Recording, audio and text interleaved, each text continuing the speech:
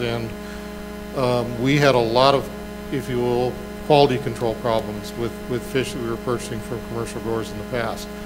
And generally, it's, it's a situation where people are going to bid on it, um, and we're going to be obligated to, to, within certain limits, go with at least one of the relatively low bids. The fish that we were acquiring before were coming from, I believe, southern Idaho or eastern Oregon. And even if they weren't coming from there, they'd be coming from Colorado or, um, you know, some other state that's considerably distant because those large-scale fish culture facilities for trout simply are a long ways from, from southern Nevada. Um, so, you know, there, it's a calculated risk. You can go that route, but there are problems with those, there's often problems with those fish that you have a hard time controlling in terms of the quality, and a, a truckload of dead fish doesn't do you any good at all. Well, I would assume one's not paying for truckload dead fish. I mean, if I issues you. Well, you know, you're not paying for the truckload of dead fish, but once you get that truckload of dead fish, it takes you a while to replace it. yeah. And so it's difficult to run the kind of structured stocking operation we need to do. Uh, We've had a lot of challenges, I'm just telling you, we've had a lot of challenges with, with private growers because of the distance those fish have to come. Has that been looked at in, re- in recent years? Um, and this facility, I wish I had a good suggestion for you about this, but I plain come out Um, of stuff, so. It's certainly something we can analyze, you know, we can do that analysis. It doesn't, you know, help us with the problem of what we do with the facility, but it's something that we can look at, certainly. Commissioner Wallace. Thank you, Mr. Chairman. Just for comparison, 2010, um, Utah was 373 a pound. Just throwing that out there for. Commissioner McBeath.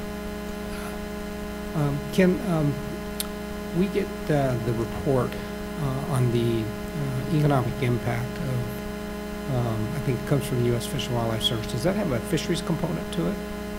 Uh, Yes, it does, and it just came out, uh, 2011. And I received an email today with some preliminary information. We'll just get that out, out to to all. I I think uh, hunting was up uh, 11%, fishing was up 9% nationwide.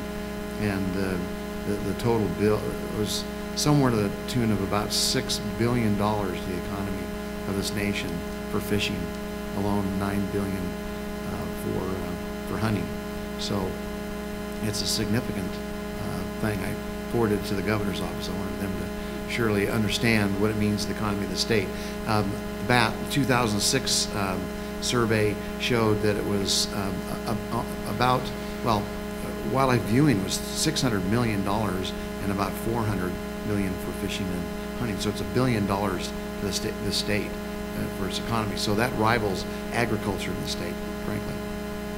And and would you have data, uh, would the department have data on, uh, for instance, the number of licenses sold or some- that somehow could be, because I know there was a stamp uh, that was uh, Mhm. for uh, the Colorado River system that people had to buy uh, to be able to fish there.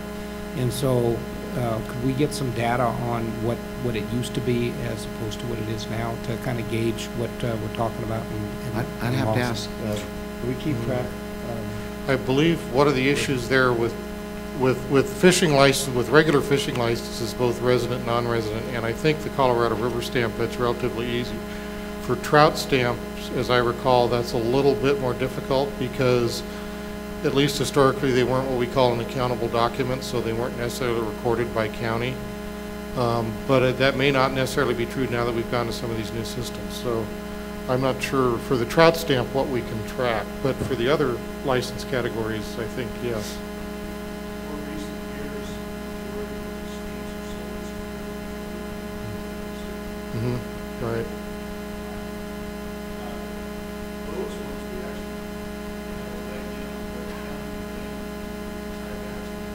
Okay, okay, okay. So that has changed since we looked at this several years ago.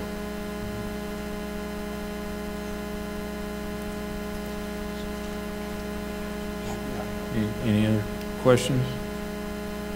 Just, just one more comment on those, in that the, the Colorado River stamp um, only applies if you're fishing on the water or from the Arizona shoreline.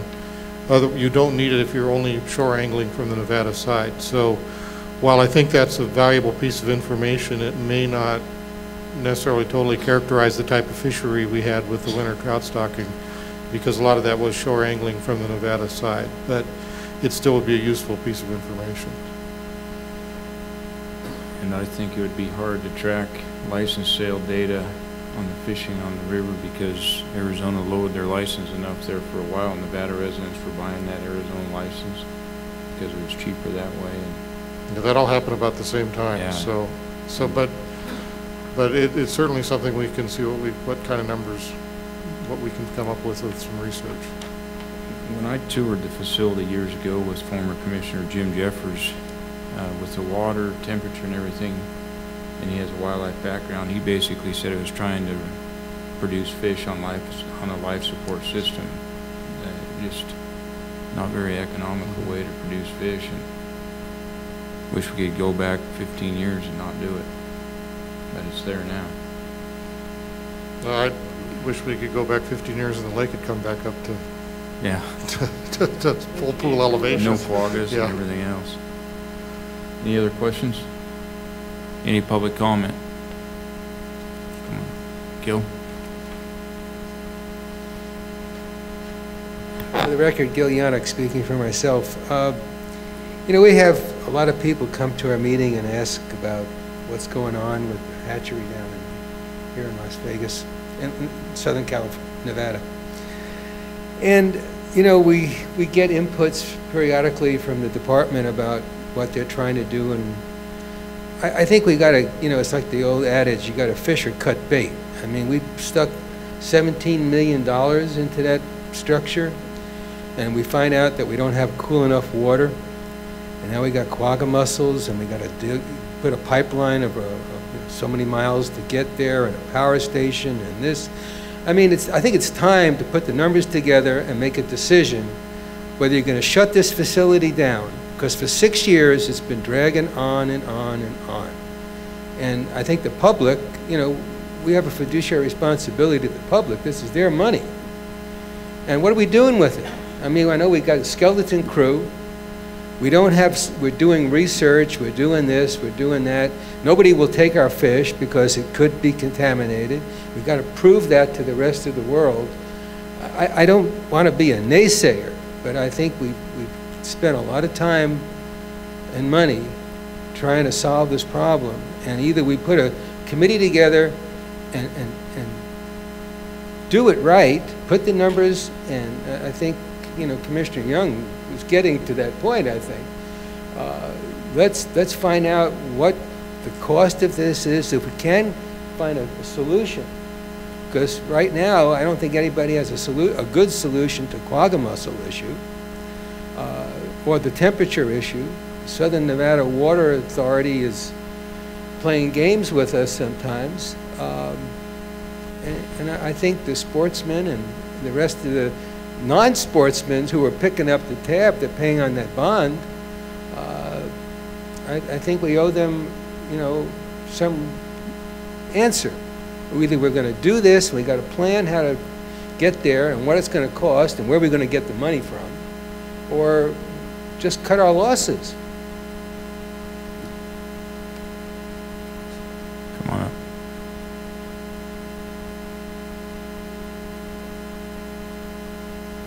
For the record, Mike Reese with the uh, Clark County Cab. Um, We did bring this up at our meeting, and I'd like to see this put on as an agenda item for the next month as well. Uh, I'd like to, uh, Chairman Robb, I'd like to see a form a task force, just like we did the trapping committee. Let's look at this. Um, I know that when the original numbers started coming on out, as with all projects here in Las Vegas, whether it's a high-rise or whatever, the costs are exuberant as you're starting it because it's kind of a speculation. Right now, uh, Southern Nevada is going through with the pipe, they're putting it in, the equipment's there, they're basically saying, okay, you know what? Some of these costs could probably be lowered because we've already moved in. We're putting the pipe in whether you guys tap into it or not. So now, just the fact of tapping into it, uh, Mark Jensen with Southern Nevada uh, Water is waiting for a phone call. So Mike Pergola on our cab has already made these introductions. Uh, We were going to try to get him to our cab meeting, he couldn't, but I'd like to see this presentation made to the Clark County cab and use it as a starting point. Use it as a launching board and get in, and like they say, let's get the facts down, see where we're at, and see what we can do. Five dollars a pound sounds like a lot, but you go down to Bass Boat Shops and you buy a bass boat, ten thousand bucks for a fishing boat, guess how much the state gets in sales tax? That doesn't include every time that guy goes and uses it, registers it, and stimulates the economy down here. I think that's the part that people are looking at. And, you know, you, you mitigate a dollar twenty-five a pound, wow, somebody buys a twenty thousand dollar boat. Now you go get twenty guys, forty guys, and start buying them that haven't had them in a long time, and now there's a reason to. Would Arizona buy into helping with this? Because they get to help reap some of the benefits because these waters are going in between the two states. So I'm kind of naive on what was happening when we did the bonds on that, but let's call them up. We want to activate this again and, and get it going. What part can you guys play? Because we border the states. Um, I would ask that we keep this on as an agenda item for next month. Thank you. Any other public comment? Seeing none, I'll bring it back to commission. Any more commission comment? All right, moving on. Ten A,